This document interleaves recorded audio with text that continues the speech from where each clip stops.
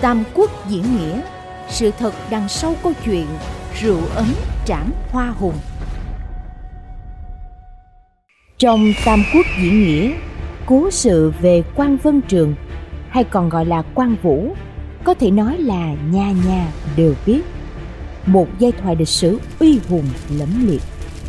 Nhưng trong quá trình lưu truyền, lịch sử là có một số tình tiết khác biệt với những gì đã xảy ra năm xưa. Và câu chuyện rượu ấm trảm hoa hùng chính là một trong số ấy. Và sự thật về tình tiết là như thế nào? Một người tu luyện tiết lộ như sau. Trong màn rượu ấm trảm hoa hùng, nhiều tác phẩm miêu tả quan vân trường là một nhân vật máu lạnh, song trận như chớp sau khi lấy đồ của hoa hùng, thì tức tốc về bẩm báo. Nhưng sự thật họ đã có một cuộc đối thoại rất cảm động trước khi hoa hùng ra đi. Thời cổ đại, các võ tướng phần lớn tính cách rất giống nhau. Chính là rất có nghĩa khí. Hai bên chiến đấu đều vì chủ. Thắng thì phải đường đường chính chính, thua thì phải thua một cách rõ ràng minh bạch và có chết thì cũng chết một cách hiên ngang oanh liệt.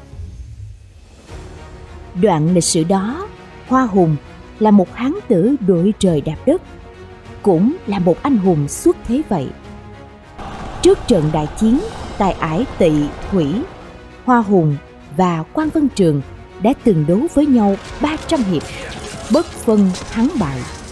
Mỗi bên đều rất bội phục võ công của đối phương trong trận đánh định mệnh ấy quan vân trường giành được chiến thắng chính là nhờ vào con ngựa mà ông cưỡi. Đó là một con chiến mã rất thông minh có tên đăng quải loan mã. Khi hoa hùng truy đuổi quan vũ, lúc ấy quan vũ vỗ nhẹ một cái vào cổ. Nó liền biết chủ nhân có ý, cố tình cúi xuống một cái. Hoa hùng tưởng ngựa quan vũ đã mất móng, bèn dương đao lớn lên hướng sau đầu quan vũ mà chém. Trong lúc ngàn cân treo sợi tóc, quan vũ dương đau chém vào móng trước ngựa của đối thủ. Chiến mã tự nhiên ngã xuống, đè lên người hoa hùng. Khi ấy thanh long yển nguyệt đao của quan vân trường đã kề vào cổ của bại tướng. Trong nháy mắt, giây phút này đã trở thành giai thoại lưu truyền thiên cổ. Câu chuyện bị lịch sử bỏ quên. Thời khắc đó quan vũ lấy đồ hoa hùng dễ như trở bàn tay. Nhưng vì sao, ông lại không nhanh chóng động thủ? Bởi vì ông phải nghe xem hoa hùng có lời gì để nói hay không. Hoa hùng biết rằng quan vũ có dụng ý. Nghĩ đây đúng là một nghĩa sĩ. Vì vậy, bèn muốn kết nghĩa huynh đệ, liền nói quan tướng quân hai bên đấu nhau đều là vì chủ. Tôi từ khi tổng quân đến nay vẫn chưa gặp ai có thể đấu với tôi 300 hiệp. Hôm nay, được chết dưới đao của quan tướng quân, cũng là chết đúng chỗ vậy, chết như anh hùng. Trước khi quan tướng quân động thủ, tôi có hai điều thỉnh cầu, không biết tướng quân có thể đáp ứng hay không?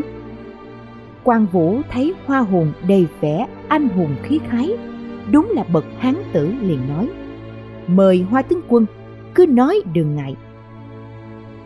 Hoa hùng nói, tôi kiếp này chỉ hận gặp quan tướng quân quá muộn. Quan tướng quân nếu không ghét bỏ kẻ bại tướng này, thì tôi nguyện kết tình huynh đệ. Không biết ý tướng quân thế nào? Quan vũ liền đáp ứng, quan mẫu tôi chính có ý như vậy. Tướng quân chết rồi, vợ con lớn bé nhà tướng quân tôi sẽ chiếu cố như gia nhân nhà tôi vậy. Còn di thể tướng quân, tôi nhất định sẽ chiếu theo quy định trong quân, dùng lễ mà an táng. Vậy xin hỏi thỉnh cầu thứ hai của tướng quân là gì?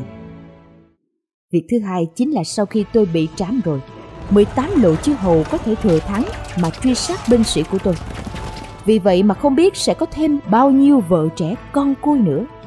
Tôi chết rồi, thỉnh quan tướng quân ngăn cản 18 lộ chư hầu đừng để họ làm hại binh sĩ của tôi quan vũ nghe xong rất cảm động lập tức đáp ứng thỉnh cầu thứ hai của Hoa Hùng. Vừa dứt lời, quan Vũ giơ tay lên nói, đem rượu đến đây. Hai bên nói lời từ biệt và uống cạn chén rượu nghĩa tình. Khi ấy mặt trời dần khuất theo bóng chiều tà. Những đám mây xanh tỏa ánh hoàng hôn. Một trận gió thổi khiến cát vàng bay mù mịt, cờ quân bay phần phật, chiến mã hí vang. Khi ấy quan vũ không hề trói hoa hùng, mà hoa hùng hoàn toàn có thể thừa cơ chạy về trận địa, hoặc có thể rút kiếm đâm trộm quan vũ, thậm chí có thể chuyển bại thành thắng. Nhưng hai người đều vô cùng thành thật nghĩa khí.